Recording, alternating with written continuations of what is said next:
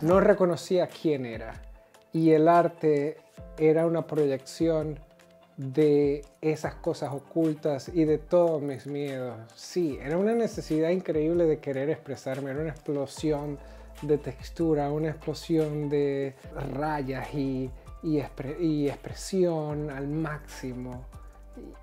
Siento que reflejaba eso, esa necesidad de decir lo que era, pero no poderlo.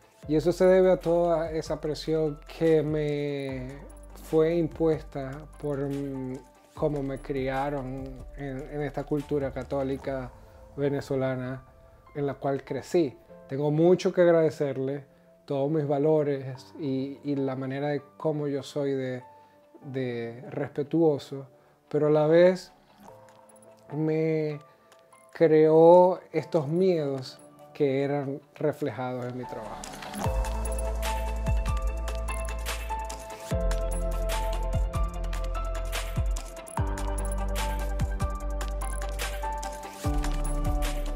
En mi trabajo actual sigo hablando de la identidad. Antes para mí era no hablar de la identidad. Ahora sí la reafirmo. Es como decir, lo que soy aquí se queda. Sigo trabajando mucho el expresionismo, pero de alguna manera un poco más refinada. Y para mí esto comunica que he estudiado muchísimo más la sexualidad y el tema de identidad. Los juicios de la sociedad me impresionaban y me marcaban tanto que no entendía lo que estaba bien o lo que no estaba o lo que estaba mal. Y uh, ahora sigo hablando de eso. En la nueva exposición, cuando me reuní con la curadora, yo le dije que quería hablar de no tener estereotipos.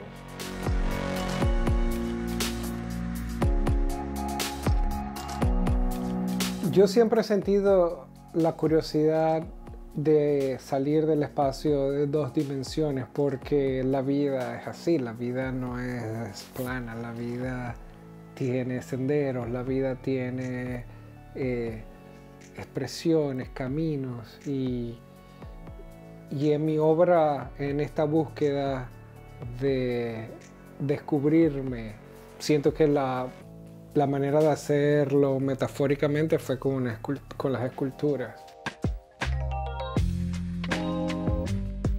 Para esta última exposición sin estereotipos, comencé con un trabajo digital en el iPad.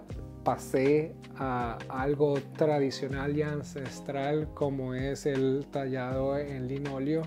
Luego hice pruebas impresas. Así salté a una técnica muy moderna como es el corte láser. Empecé a experimentar con el corte láser y lo usé como también como un elemento de impreso para mezclar texturas, sabiendo que en Miami el arte de graffiti ha tenido mucho auge, empecé a explorar y a leer y a, investigar un poco más del arte de graffiti. Y encontré una técnica que es de stencil y por qué y cómo eso se conectaba con lo precolombino, la expresión artística más antigua entonces eso me iluminó a decir, bueno, yo puedo usar esto como un, elemento de stencil y mezclar mi, mi obra pasada con mi obra del presente de una manera un poco más metafórica. Realmente si la pregunta es qué es la técnica que más me gusta, entonces sería mezclar medios.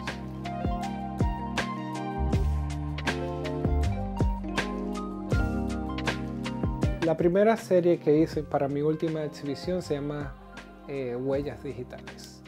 Era muy importante hablar de la unidad en lugar de separar. Yo exploro muchísimo eh, con texturas, con colores, usando una misma base, como representación de que todos somos realmente iguales. Entonces, ¿para qué separarnos tanto?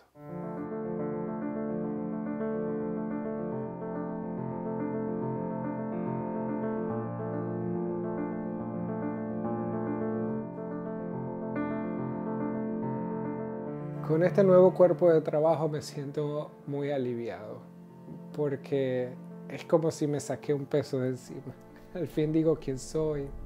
Eh, sí, soy gay y,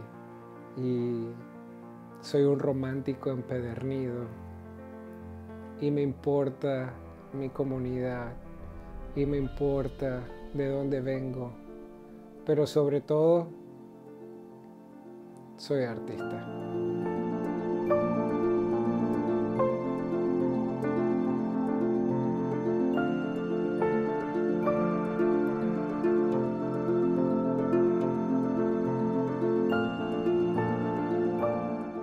And everyone know that the, uh, maybe la visión, el gusto, are the senses that everyone knows. But what about the most important one? The sense that that we can feel. So are you feeling it or not? Enjoy.